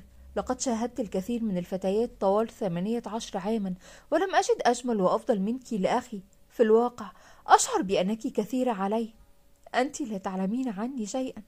لو علمت ما أخفي لكرهتيني. لهربت بعيدا عني بل ستطلبين من والدك أن يطردني من هنا. اتضح التوتر على وجه ندى لكنها أمسكت بيد جمرة سريعا وضغطت بكل قوة عليها وقالت أخبريني كل شيء وأعدك. سيكون كل ما تقولينه سرا بيني وبينك وسنصلحه معا إن كان قابلا للإصلاح. في تلك اللحظة لم تستطع جمرة إخفاء ما في قلبها عنها. لتخبرها بصوت باكي عن قصتها بأكملها منذ ولادتها حتى وجودها هنا في منزلهم بما فيه عمل والدتها الأسود للعمة مياسم ولكن ما أخفته عنها هي أفعال والديها السيدة ماها والشيخ ماجد. شعرت ندى بالصدمة لم تستطع البوح بأي كلمة أبدا. للحظة ظنت أن جمرة قد جنت ولكن كيف لها أن تعرف كل التفاصيل التي لم تخبرها بها؟ هي تعلم أيضا أن التحدث عن تفاصيل زفاف العمة مياسم ولحظة استحواذ الشياطين عليها ممنوعة في المنزل. تم تغيير الخدم بالكامل والمتبقين لم يكونوا متواجدين ليلة الحادثة بينما حسن وأمير لا يمكن أن لهم أن ينطقوا بهذه التفاصيل أمام جمرة. كيف لها أن تعرف اسم طريق العمة وعائلته؟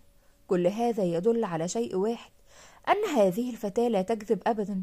في عمق أفكارها كانت جمرة ترجوها على عدم الإفصاح لأحد ونسيان كل ما قالته. كانت تبكي بانكسار. جعل ندى تربط على رأسها برفق وتقول لم أخبرك أنني معك. أنا أصدقك وسأفعل ما أستطيع فعله لحل هذه المشكلة. لا تخبري أحدا أرجوك. لن أفعل. أعدك. استأذنت ندى من زوجها على أن تبيت عدة أيام في منزل والديها وشرحت له أن أختها مريضة ويجب عليها البقاء بجانبها. فقبل بالأمر وقال لها لا تقلقي خذي كامل وقتك حتى تعود جمرة لوضعها الطبيعي. بدأنا بالتخطيط سويا للقيام بأول مهمة لإيجاد العمل الذي يربط تلك الشياطين بالعمة مياسب لتقول ندى بعد وقت من التفكير لنذهب إلى تلك المقبرة التي أخبرتيني أنكم قمتم بدفن داخلها. جمرة بيأس أشك أنني سأعلم مكان القبر الذي دفن فيه العمل فتلك الحادثة حدثت منذ زمن طويل. دعينا نذهب. لن نخسر شيئا وسنجعل الخادمة مينا تراقب المكان لنا. هي لا تفشي الأسرار أبدا. أخبرت ندى السيدة مها أنهم سيذهبون لزيارة إحدى صديقتها فاليوم سيكون زفاف أخيها وقد يفيد هذا الأمر جمرة لتعود لطبيعتها. حاولت أن تذهب معهم لكن ندى همست لها بعيدا عن جمرة. دعيني أتقرب منها أكثر لأعلم سبب حزنها. لن تخبرني بأي شيء أتيت معنا. معك حق. هل أخبرتي زوجك؟ نعم أخبرته وهو موافق لا عليك ذهبوا مع السائق والخادمة بفساتين تناسب الاحتفالات وكان ماجد ينظر إليهم من نافذة غرفته بتوتر شديد لتدخل عليه زوجته فيقول لها أين سيذهبون؟ أخبرتني ندى أنها ترغب باصطحاب جمرة لزفاف أخ صديقتها لتبتعد قليلا عن المنزل لعلها تعود كما كانت كان يمسك يديه بطريقة غريبة تعبيرا عن توتره وخوفه فقالت له ما بك.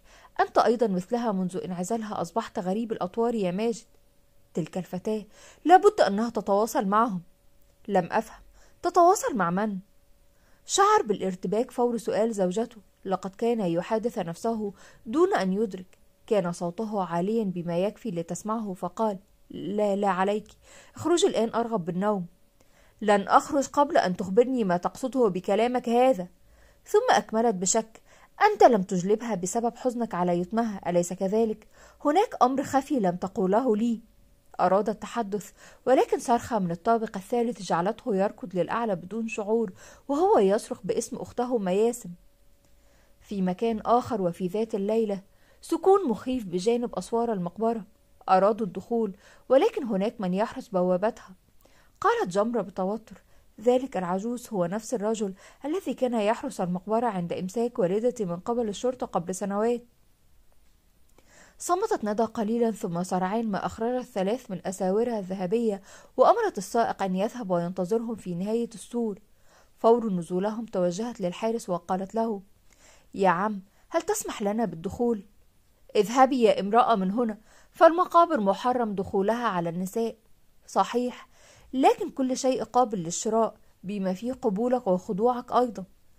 أظهرت له الثلاث أساور ليفتح عينيه بأكملها من شدة الدهشة أراد سريعا التقاطها لكنها أبعدتها عنه وقالت خذ واحدة الآن سأعطيك الاثنتين المتبقيتين في طريق خروجنا بعد أن ننتهي.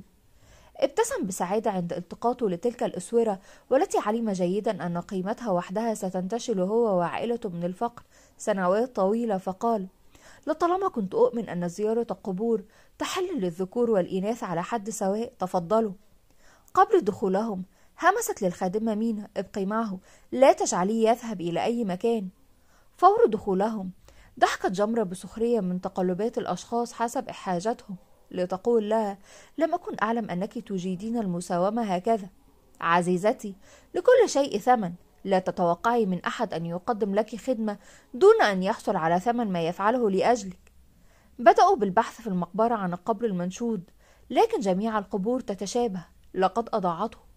شعرت جمرة بخيبة الأمل عند تيقنها من ذلك وقالت لا أستطيع تذكر أي قبر منهم هو قبر صحيح يا ندى ولن نستطيع حفر كل تلك القبور لأجل شيء لسنا متأكدين منه. كانت تتحدث عينيها تذرف الدموع حيث أنها لم تعد تقوى على تحمل كل هذا لكن ندى أمسكتها من كتفيها وقالت تذكري اهدئي وتذكري أنتم لم تدخلوا عميقا بين القبور أليس كذلك؟ صحيح لقد مشينا بضع خطوات فقط لنقف على أشارت بيدها منذ لحظة دخولهم باتجاه البوابة ثم تحركت بها محاولة تذكر الاتجاه الصحيح حتى أوقفت يدها تجاه إحدى القبور هنا. أتذكر أننا توقفنا هنا أمام تلك الحجرة. لقد جلست عليها لبعض الوقت. أتذكر هذا. اقتربت منها لتجد قطعة قماش مكومة على شجيرات الأرض المليئة بقطع الشوك. كانت تلك القطعة مغطاة بالأتربة وكأنها بقيت في المكان منذ سنوات طويلة. أمسكت جمرة بها وقالت لندى قطعة القماش هذه تعود لي. أتذكر فستاني الزهري جيدا فقد حكته لي والدتي تعويضا عن خسارتي لفستاني الأحمر عند زيارتي لصديقتي ربا ثم ابتسمت ونظرت إلى ندى وأكملت. أظنني أعلم الآن مكان القبر يا أختي. كان القبر بجانب إحدى الأحجار الكبيرة في زاوية المقبرة قريبا من أسوارها. بدأوا بالحفر بكامل أناقتهم حيث إن ثيابهم الباهظة أصبحت مليئة بالتراب. فور وصولهم إلى الجثة وفتحهم لها كانت خالية متآكلة لم يتبقى منها إلا بعض العظام المتناثرة هنا وهناك حيث إن ندى كانت تشعر بالخوف ممزوجا برهبة الموقف لكنها لم تنطق لتقول لها جمرة بعد يأسها لا أثر للعمل الذي قامت به والدتي يا ندى. شعروا جميعا بخيبة أمل فلم تعد أي واحدة منهم قادرة على مواساة الأخرى. جلسوا لبعض الوقت أمام القبر ثم سرعان ما نهضت ندى وأشاحت بوجهها عن القبر. لتطلب من جمرة بصوت متردد مليء بالخوف. هاي دعينا نذهب. يبدو أنه مقدر لعمتي أن تبقى هكذا إلى أن يحين أجلها. ثم إن قلبي امتلأ بالخوف ولا أستطيع تمالك نفسي أكثر من ذلك. قبل رحيلهم من المقبرة باتجاه البوابة سمعوا صوت ضحكات ساخرة تأتي من خلفهم باتجاه القبر الذين كانوا قبل لحظات يحفرون فيه. شعروا بدقات قلوبهم تتصارع. وروحهم تكاد تهرب تاركة أجسادهم خلفها. ثم ببطء شديد التفتت جمرة لتفعل مثلها ندى فيجدوا خاتمة تجلس فوق القبر وتمسك بيدها وشاح أصفر ملفوف على شكل عقدة. تتذكر جمرة جيدا ذلك الوشاح وما في داخله. ذلك هو العمل الذي فعلته والدتها لمياسم. كانت ندى ترتجف خوفا لتسقط على ركبتيها من هول ما شاهدته وهي تقول بصوت يخرج منها بصعوبة. جمرة. ما هذا المخلوق؟ عندها نطقت خاتمة موجهة كلامها لجمرة بتهديد واضح. هذه التي بجانبك. أستطيع الآن الاستحواذ على جسدها بسبب خوفها ويمكنني أن أقتلها الآن أمامك. ما رأيك؟ هي لا شأن لها. اتركيها وافعلي ما تشائين بي. ابتسمت لتظهر أسنانها السوداء المتآكلة بالكامل ونهضت من مكانها لتقترب ببطء. ثم سرعان ما أصبحت أمامها بلمح البصر. تتلمس خصلات شعرها المتناثرة وهمست لها لكني لا أستطيع للأسف الحصول عليك قبل قتل أيتها القربان. ثم نظرت نحو تلك العقدة التي بين يديها بتأمل شديد وقالت غبية والدتك. يا لها من غبية. ظنت أنها تمتلك من الذكاء ما يفوق عقل القرين أقوى وأذكى فصائل الجن. لكني لن أجعلك تعودين لمنزلك خائبة بعد كل ما فعلتيه أنت و... نظرت نحو ندى والتي لم تعد تقوى ما تشاهد أمامها فسقطت مغشيا عليها في ذات اللحظة لتكمل هذه الضعيفة. ثم اختفت من المكان بلمح البصر لتسقط العقدة بجانب أقدام جمرة. أمسكت جمرة بتلك العقدة وسحبت ندى وهي تصرخ للخادمة والحارس والذين فور سمعهم لصرخاتها ركضوا نحوها والفزع مرسوم على وجوههم لتقول ساعدوني بحملها الآن. قال الحارس بتوتر وخوف ماذا فعلتم هنا؟ لا شأن لك.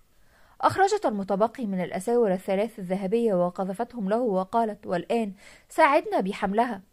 فور وصولهم للسيارة المركونة في خلف أسوار المقبرة. توجه بهم السائق للمنزل. وقالت الخادمة مينا ماذا علينا أن نفعل؟ ثيابكم متسخة بالكامل وندى مغشية عليها. لا يمكن لنا الذهاب للمنزل هكذا. حاولت بكل ما تستطيع إفاقة ندى والتي فور استعادة وعيها. بدأت بحضن أختها والبكاء وهي تقول ما الذي شهدناه يا جمرة. لا عليك هم جبناء جدا جبناء يجيدون صنع الوهم لن يستطيعوا فعل شيء لك. كانت ترتجف من شدة الخوف ترتجف وبدأت حرارة جسدها ترتفع. حاولت هي والخادمة فعل كل ما يستطيعون للسيطرة عليها لكن دون جدوى أصبحت حالتها تزداد سوءا. كل لحظة لتصرخ للسائق اذهب بنا إلى أقرب مشفى. في منزل الشيخ ماجد وعند صعودهم للدور الثالث فور سمعهم لصوت صرخات مياسم. خرج ليث في ذات اللحظة التي ركض فيها والديه للأعلى ليلحق بهم. كانت تجلس على سور سطح المنزل برداءها الأبيض وضحكتها الشيطانية بينما أعينها مليئة بدموع الخوف وفور وصولهم ثلاثتهم إليها. خرج صوت رجولي من داخلها قائلا أنت يا ماجد لم تفي بوعدك لنا. كان يقترب على مهل محاورا منع أخته من السقوط وهو يقول راجيا لقد فعلت كل ما طلبتموه مني. أحضرتها عملتها كما أعامل أبنائي. أرجوكم اتركوا مياسم يكفيها العذاب الذي لاقته طوال هذه السنوات. في تلك اللحظة ظهر صوت أخته الذي افتقده منذ سنوات طويلة لتقول له انقذني أرجوك. ليتقدم نحوها وملامحه مليئة بالذل والخضوع وهو يرجوهم أن يتركوها بحالها. ليقول له الشيطان همام ناطقا إن أردتها فلتأتي لتأخذها. ومد يدها باتجاه أخيها الذي تقدم سريعا غير مصدق. وقبل أن يمسكها ابتسمت له ابتسامة بريئة افتقدها منذ سنوات لتتحول تلك الابتسامة بلمح البصر إلى ذات الابتسامة الشيطانية التي استحوذت عليها. ثم قذفت بنفسها بكل قوة من أعلى سطح المنزل ولكن يده كانت أسرع من سقوطها فأمسك بيدها وهو يقول بتحدي هذه المرة لن أترك أختي وإن أبيتم أيتها الشياطين. ركض ليث نحو أبيه وحاول مساعدته ولكن وقبل وصوله نطق ذلك الجسد الذي ظل معلقا في الهواء بصوت شيطاني مخيف. إذا فأهلا بك إلى الجحيم أيها الشيخ الجليل ماجد. ثم تحولت عين ماجد إلى اللون الأبيض وسقط برفقة أخته دون مقاومة منه. عند وصول ليث شاهد والده بجانب جثة عمته مياسم بينما بركة من الدماء أسفلهم. تلك الصدمة ارتسمت أيضا على وجه السيدة مها ثم سرعان ما بدأت بالبكاء وضرب نفسها وهي تركض باتجاه الأسفل نحو جثة زوجها وضحياتها. لتقترب منهم وتقول ماجد أرجوك لا ترحل لا ترحل قبل أن تسامحني أرجوك. ما أبشع من الموت. إلا قلة الحيلة وشعور الندم بعد فوات الأوان. السلام عليكم. لا تنسوا الإعجاب بالفيديو والاشتراك في القناة تشجيعا لنا لنستمر بنشر المزيد إن شاء الله.